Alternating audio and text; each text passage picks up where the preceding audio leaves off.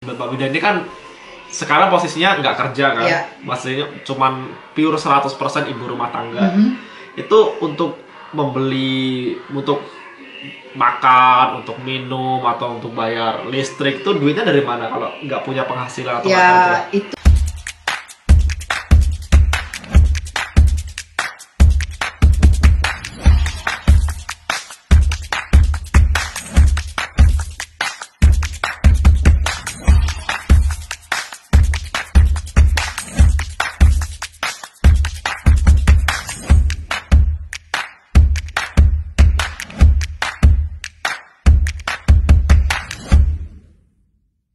Halo semua, balik lagi di video saya. Di video ini saya lagi ada di di kota mana?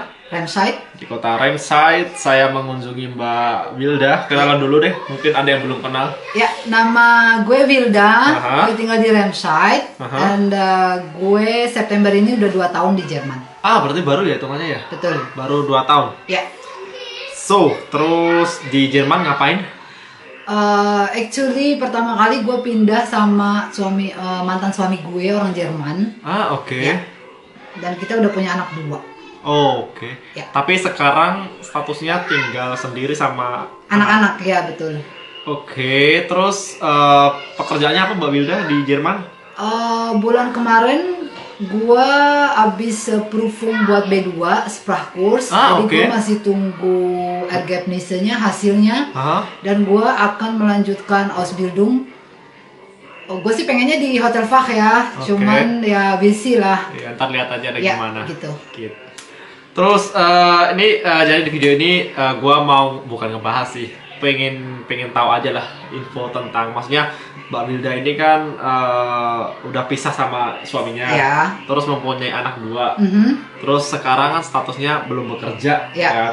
Nah itu gimana bisa hidup di Jerman gitu loh dengan menghidupi dua anak tapi eh, tanpa penghasilan gitu, Ya. nggak kerja gitu. Bisa sedikit cerita mungkin atau gimana bayar rumah, terus gimana bayar anak sekolah dan lain sebagainya.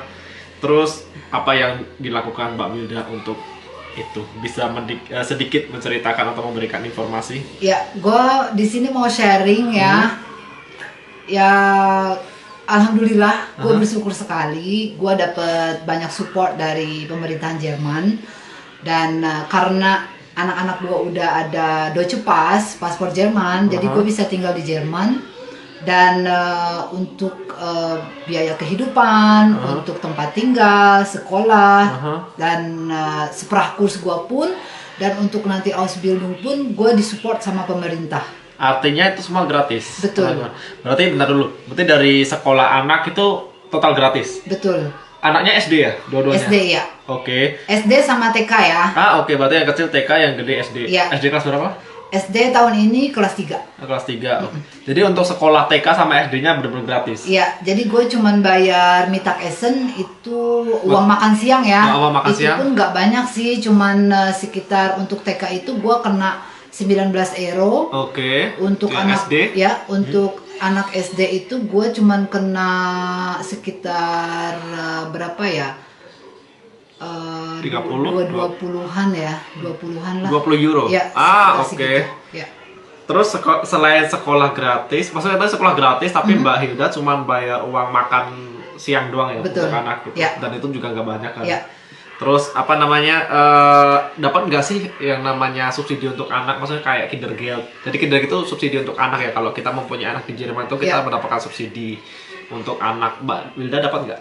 Oh, gue dapet. Jadi tiap awal bulan itu per bulannya anak-anak dapet. Ah, oke. Yang pasti jumlahnya beda ya. Iyalah. Anak yang besar dan yang kecil Ya, gitu. anak satu anak dua juga Ya beda. betul. Terus udah gitu eh, kalau ada untuk tahun pelajaran baru, Aha. untuk pembelian buku kita dikasih uang tambahan. Oke. Dan untuk eh, kalau anak mau minta mau ikutin eh, klub bola, berenang ataupun kegiatan ekskul yang lain, Aha. kita dikasih eh, potongan harga Oke. atau bantuan nggak banyak tapi itu bantu lah ya. Ya, Jadi ya. kita nggak berat banget bayarnya gitu. Ya, berarti kasarnya ada diskon untuk kayak ekstrakurikuler lah. Betul. Oke. Terus kalau apa namanya ke kayak dokter gitu gimana? Di sekolahnya anak-anak atau misalkan eh, apa kayak pemeriksaan apa Ya, gitu? kalau untuk dokter gigi itu tiap tiga bulan sekali. Hmm. Anak gua yang SD sama anak TK itu udah pasti ada check up. Itu gratis juga. Betul, itu gratis dan eh, nanti anak ada ada masalah apa giginya gimana kita dikasih surat keterangan Aha. kayak rujukan gitu, misalkan anak ada karies atau atau apa, Gigi jadi kita ya betul, jadi kita bisa langsung bawa rujukan itu ke dokter giginya gitu. Oke, dan itu nggak bayar juga. Itu nggak bayar, itu dari Wow. asuransi. Kalau untuk sekolah gua nggak tahu ya dokter yang datang ke sekolah itu dibayarin siapa, pasti pemerintah ya. Tapi intinya dari Mbak Bila nggak ngeluarin duit untuk. Nggak ada, Ah, oke. ya. Berarti keren juga ya pemerintah Yes. Jerman ya. Mhm. Wow. Nah, tadi kan eh, sempat dibilang bahwa Mbak Wida ini kan sekarang posisinya nggak kerja kan. Iya. Maksudnya cuman pure 100% ibu rumah tangga. Mhm. Itu untuk membeli untuk makan, untuk minum atau untuk bayar listrik itu duitnya dari mana kalau nggak punya penghasilan atau? Ya itu gue masih disupport sama pemerintah ya. Gue bukan bangga jadi pengangguran di sini. Aha. Cuman ya alhamdulillahnya pemerintah di sini banyak nolong. Oke. Bukan cuma buat gue aja yang menikah dengan orang Jerman, tapi untuk semua Auslander, imigran, Orang asing lah. Ya orang Ah. asing, mereka dibantu dengan syarat dokumen lu komplit. Oke. Iya. Berarti Mbak Wila juga maksudnya dapat penghasilan Iya. atau bantuan dari pemerintah ses- Mhm. duit untuk biaya hidup per Betul, bulannya. betul. Kita dikasih Ah. uang makan, uang bayar sewa apartemen, sama uang bayar buat eh, heizung, Oh, gas, pemanas ya, ha. Listrik kita bayar sendiri, tapi duitnya tetap dari situ, gitu. Ah, berarti per bulan dapat sekian euro gitu. Iya, betul. Itu cukup nggak untuk mengcover biaya per bulan dengan dua anak? Ya untuk eh, makan semuanya, alhamdulillahnya selama ini cukup. Oke. Tapi ya mungkin kalau untuk liburan jauh-jauh kita pelesiran ya kita mesti nabung banyak gitu. Oke. Tapi intinya cukup ya sebenarnya. Ya, betul. Kalau boleh tahu sekitar berapa sih? Maksudnya nggak usah sebutin nominal detailnya, tapi range berapa dapatnya bantuan per bulan Ya gitu. kalau untuk gue pengalaman gue selama di sini gue dapat sekitar eh, seribu seribu seratus lima puluh ya. Berarti per bulannya. per bulannya. Ya. Untuk dua anak juga Itu ya. all include ya Oh, ya. untuk bayar rumah, listrik segala macam ya. Oke. Berarti eh, rumah nggak bayar juga? Rumah itu gratis dari pemerintah Wow. sampai dicariin pun gue gratis sampai gue pindahan pun gue ditolongin pindahan Oke. sampai gue pasang dapur pun gue dibayarin pemerintah. Oh ya? Ya. Wow. Berat. Tapi tapi ah, maksudnya ini rumah se nggak nggak ah, maksudnya gimana ya? Sewanya dibayar pemerintah kan? Iya betul. Itu sampai kapan? Itu sampai gue dapat kerja. Ah, Kalau oke. gue dapat kerja yang layak dan Aha. udah fix gitu penghasilan gue berapa per bulannya. Itu nggak dapat lagi atau gimana? Itu tunjangan gue dipotong. Jadi Ah, tunjangannya itu dipotong berapa persen. Jadi gue paling cuman dikasih tunjangan buat anak gitu. ah oke oke. Tapi Ya. tetap masih dapat ya? Masih dapat tapi cuman palingan anak aja kali ya. Oke. Ya. Nah terus ini sepengetahuan gue nih, kalau misalkan di Jerman itu kan biaya cerai itu lebih mahal daripada biaya nikah. Betul. Lah waktu kalau boleh tahu nih kalau boleh tahu waktu Ah. kemarin pisah sama suami waktu cerai itu maksudnya kan Mbak Wila nggak kerja nih Ya. gimana bisa bayar pengacara Gua atau kan ah. cerai itu mahal di Jerman Ya, itu. gue dapet eh, pengacara prodeo. Aha. Itu pun eh, dikasih sama pemerintah. Jadi kita eh, seharusnya tuh gue bayar sekitar gue nggak tahu ya. Kisaran aja lah. Kisaran Ah. circa 2000 lah ya. Oh untuk pengacara. Ya, Wow. jadi gue nggak bayar. Jadi Oh ya? Oke. ya, jadi nggak bayar itu pure gratis dari pemerintah. Wow. Terus eh, apa lagi namanya? eh yang pernah gua denger itu kayak gua, gua juga ada pengalaman temen juga yang sena, bukan senasib sih, maksudnya sama juga Hmm? dapat eh, bantuan pemerintah itu katanya kalau misalkan eh, untuk apa ya alat kontrasepsi itu kita juga dikasih juga atau gimana sih? Iya itu Nggak ngerti gua itu bisa. eh, maksudnya asal lu pergi ke diakoni Aha. itu kayak badan sosial gitu ya. Iya, Tapi ada untuk departemen untuk ke perempuannya Oke. gitu. Jadi eh, kalau misalkan lu bilang oke saya pergi ke Frauenarzt dokter, Dokter, perempuan aha. untuk pasang alat KB dan lu kasih eh, resepnya, bonnya, nanti mereka ada budget untuk eh, balikin uang lo berapa Ah, lo habis gitu. Nanti lu oke. di reimburse duitnya Ah, oke. sampai ke pil KB Ya. atau apa pun alat kontrasepsi kalau emang lu bilang oke saya nggak mampu bayar ini mereka akan reimburse Ah. ya Berarti kasarnya gratis dong ya? betul Wow. yang penting lu ada bonnya Iya, iya, ada buktinya lah ya. ya lu bayar abis bayar berapa jadi Hmm. mereka reimburse Terus nggak kalau misalkan uh, ada juga nih uh, janda juga yang lagi hamil contohnya, ya. itu katanya juga dapat bantuan ya sampai melahirkan atau Ya, gue tahu karena gue ada temen Aha. dia dari negara yang lain ya, Ya, oke. cuman uh, dia juga ya Dibantu istilahnya pemerintah ya juga. dibantu pemerintah, dia dapat uang itu untuk uh, belanja perlengkapan bayi, dia dapat sekitar 900 euro ya untuk beli peralatan bayi, baju-baju. Oh iya? Ya. Untuk cuma beli perlengkapan bayi itu Ya 900? betul, ya, Wow. Oke, dan itu dikasih cuma-cuma doang. ya, Dan nanti kita nggak harus balikin atau Nggak gimana? usah. Oh ya? ya itu uh, Wow. kayak apa namanya social guild gitu ya, tapi Oke, untuk uang sosial hamil. lah ya. Iya, Ah, oke. Oh, gede juga 900 iya, euro ya? iya. Gila. Tapi itu pengalaman dari teman gue ya. Ya, teman ya. gue juga soalnya kan dia juga eh, istilahnya eh, single mom juga Ya, ya. gitu. Tapi Jadi- kebetulan lagi hamil. betul. Ah, oke. Nah, terus eh, kemarin kan maksudnya di Jerman itu kan ada yang namanya kayak lembaga yang untuk mengurusi anak, lembaga mengurusi wanita kalau ada. Ya. masalah. Nah, itu pengalaman maksudnya Mbak, Mbak Wilda kan udah banyak dibantu nih Mhm. lembaga untuk mengurusi perempuan itu. Itu menurut Mbak Wilda itu eh, support banget nggak sih? Support banget dari Supportnya gimana, contoh? Ya, Maksudnya pokoknya, tolong jelasin, ah. Iya, pokoknya eh di sini itu mereka sangat bekerja dengan maksimal ya. Oke. Dari lu punya masalah dari awal sampai lu masalah lu selesai, mereka sangat membantu. Oke. Spesiali kalau lu nggak bisa bahasa Jerman, Aha. lu cuman modal bahasa Inggris yang nggak begitu pinter pun mereka masih mau bantu gitu. Oke, oke. Dan mereka kalau emang lu ada dolmetscherin, ada uh, translate, Hmm. Ya. mereka coba carikan translate supaya mereka berko- bisa berkomunikasi sama lo gitu. Masalah Ah. lu apa gitu. Oke. Ya, Tapi itu juga gak bayar juga. itu pun nggak bayar. Wow. Itu yang memfasilitasi ya dari departemen tersebut Aha. yang di pemerintahan Jerman yang khusus untuk menangani uh, masalah-masalah Perempuan. perempuan. Ya. Ah, oke oke oke. Berarti mereka bekerja dengan maksimal banget Betul. ya. Dari sampai akhir sampai akar-akarnya tetap dibantu Iya, ya. ya sampai lu bisa independen sendiri, sampai lu dapet uh, rumah sendiri, Oke. dan lu bisa uh, istilahnya belajar bahasa Jerman, Ya. dan mereka tetap tanggung jawab sama lu, Ya. dan mereka tetap akan tanya uh, gimana sekarang progres lu, Oke. dan kalau emang lu udah bener-bener independen, lu bisa sampai istilahnya handle uh, settle semuanya, mereka akan lebih seneng gitu ngeliat lu bisa bisa uh, bangun lagi. Gitu. Oke. Berarti kalau udah settle baru dilepas. Ya, Aso, oke. Nah, itu tadi kan berarti banyak sekali bantuan pemerintah yang udah dikasih ke Mbak Wilda betul. ya. Ya. Ah. Terus so far puas nggak Mbak Wilda dengan dengan bantuan pemerintah itu? Ya gue sangat puas, puas sekali ya. Hah? gue di sini bukan berarti uh, bangga gue Ya, ya, sebagai sebagai pengangguran, gue Ya. sebagai janda bersubsidi. Ya ini kita sharing aja ya, sih berbagi ya, tapi info. gua, ya, tapi gue mau sharing kalau di Jerman itu sangat-sangat membela hak-hak perempuan. Oke. Gitu. Jadi eh, apa namanya?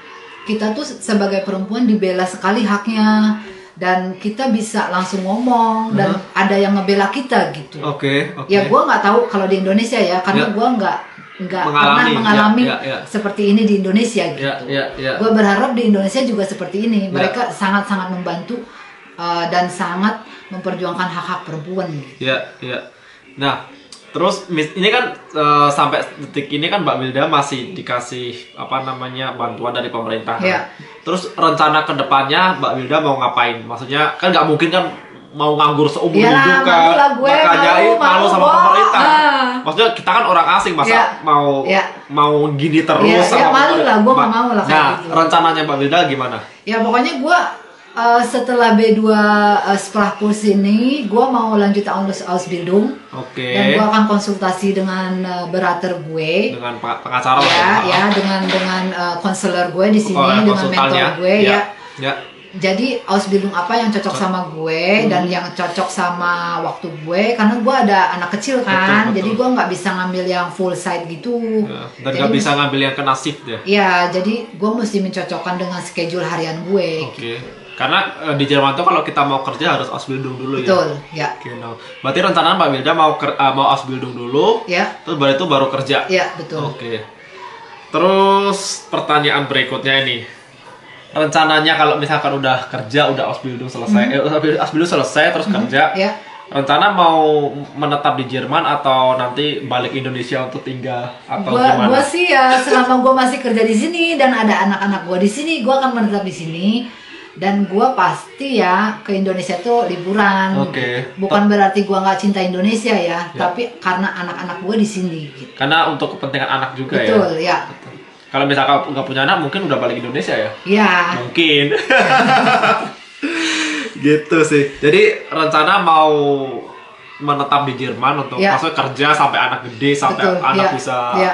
Mandiri ya, sendiri ya gitu. mungkin kalau misalkan gua udah rente, Udah pensiun lah. gua akan pikirin lah ya, gua akan bercocok tanam di kampung Iya, buka bisnis di Indo lah ya. atau buka warung bakso favorit gue. Masalahnya di sini nggak bisa buka warung kan? Ya betul. Nih, nih ada ada ada di ada bakwan, bala-bala ya. Hmm. Tuh, ada apa lagi? Ini sebenarnya bawang jagung, ini Bawang ada jagung, nih sambal ada terong pesanannya. Mas Windy. Ini banyak, tapi saya ini sebenarnya Mbak Wilda tuh mau buka warung warung Tegal lah warteg gitu di sini tapi sayangnya susah banget dan nggak bisa untuk membuka bisnis di Jerman. Iya, Sangat betul. disayangkan. Iya. Gitu. Kebetulan kan depan uh, apartemen gue ini kan gimnasium sekolah Oh, SMA lah ya? Ya SMA. Heeh. Gue pikir ya kalau di Indonesia gue udah bisa buka warung tenda ya, warung kopi, apa jualan pop ice, pop mie gitu, udah jadi sebut merek nih. Nggak apa-apa ya Kak. Cuman ya, Ya, kalau di sini ya gue nggak mungkin juga. Yang ada gue digulung sama satpol pp dong. Gimana? Yang ada gue jena kena tiket nanti udah bayar tiket gue. Bener bener bener. Aso sayang sekali ya. Ya, Jadi ya emang gitu sih ya uh, birokrasi di Jerman emang Iya. agak susah kalau untuk Iya. kita berbisnis. ya, Nah, itu tadi jadi udah dijelasin Mbak Wilda tentang apa ya bisa dibilang bantuan sosial yang didapat untuk single mom yang Ya, nggak kerja, yang intinya pemerintah Jerman tuh support banget untuk Ya. orang-orang yang membutuhkan walaupun bukan orang Jerman loh ya, ya. walaupun orang asing dan bisa dibilang orang baru lah di Jerman Ya. kan dan secara bahasa juga mungkin belum belum lancar Fasih, juga ya. bener juga belum fasih. Nah pertanyaan terakhir lagi nih eh, pesan Mbak Bilda untuk netizen Indonesia setelah melihat video ini gimana pasti ya pastilah ada lah pro kontra itu pasti ada Ya. nantinya nih, eh, komennya Mhm. Eh, Mbak Bilda ada pesan nggak ya pengen disampaikan? Ya, gue bersyukur gue pindah ke Jerman. Oke. At the first it's really hard time Oh, pastilah, ya. pasti. Ya. Gue sangat berpikir gue pengen pulang, gue pengen pulang. Tapi setelah gue jalanin, setelah gue laluin semuanya, gue bersyukur sekali. Mhm. Dan gue berpikir ya mungkin Jerman adalah kampung halaman gue yang kedua Hmm, setelah Indonesia. Gue tetap cinta Indonesia. bukannya nggak cinta Indonesia ya? Ya, gue tetap cinta Indonesia. Indonesia adalah tanah air gue. Betul. Cuman untuk sekarang, untuk masa depan gue dan anak-anak gue, gue tinggal di sini. Oke, sip. Berarti nanti kalau ada komen yang negatif, yang julid-julid gimana? Ya bodo amat. ya udahlah, Mbak Bilda terima kasih infonya. Ya. Udah sharing berbagi pengalaman. Ya, jangan lupa ya di like, share, and subscribe. Genau. Eh, Mbak Bilda punya IG juga kan? Ada, Boleh saya gua, gua tampilin? boleh. Yakin? Ya, tapi jangan nyinyir-nyinyir ya. Yaudah ntar gue tampilin IG-nya Mbak Bilda di bawah sini Kalau mau kontak atau pengen tahu tentang Jerman atau birokrasi atau Iya. bantuan sosial yang didapat atau apa Pokoknya tentang Jerman langsung kontak DM Mbak Wilda aja Dia open kok Oke, Yaudah Mbak Wilda terima kasih Ada yang pengen disampaikan lagi? itu aja sih sebenarnya. Cuman ya di mana pun kita berada, jadilah orang baik. Asik bener, bener. Jadilah orang baik. Insya Allah lu dipertemukan dengan orang-orang yang baik juga. Amin Bener-bener Ya. Ya seperti kata pepatah Kita menanam kita menuai Betul. Iya, gue bijak banget tuh Ya secara lu kan udah senior. Gue masih junior di sini. Dasar lu. Ya udah Mbak Binda terima kasih sukses untuk semuanya kesehatan Ya. untuk anak-anak masa Terima depan. kasih banyak Mas Pokoknya Cindy. Wi- I wish you all the best lah. Ya, ya dan yang buat mau ke Jerman, Hmm. pokoknya jangan patah semangat. Yang penting bahasa sih. Ya. Karena bahasa Jerman tuh susah nggak sih bahasa Jerman sebenarnya buat Binda? Eh, kalau menurut gue sih gramatikanya aja sih sebenarnya Oke. gitu karena gramatika itu yang paling susah dan gue kalau menurut gue karena gue orangnya tahan malu jadi gue coba aja lah untuk selalu ngomong, Ngomong. sama orang Bener penting- salah, Ega, yang terserah pen- ya. ya yang penting gue bisa ngomong gitu Oke. ya yang penting lu banyak praktek aja lu mau ngomong sama orang yang dari luar Jerman pun nggak apa-apa yang penting lu ada prak praktek Ya. practicingnya gitu Dipakai lah. Iya, pokoknya. betul. Biar gak pasif Iya. lah. Oke, now. Ya udah, terima kasih buat semuanya yang udah nonton video saya dari awal sampai akhir. Eh, kita berdua pamit. Salam dari Jerman. Ciao. ciao